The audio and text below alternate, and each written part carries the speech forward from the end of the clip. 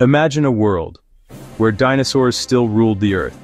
If you're a fan of old-school fossils, then you need to meet living giants.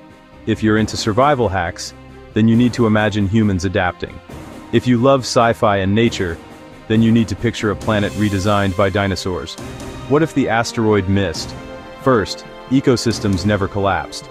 Giant herbivores keep forests pruned, savannas expand, and predators evolve into smarter, pack-hunting apex minds. Mammals stay small and nocturnal, so no human-like primates dominating the day. Humans, if they appear at all, adapt differently.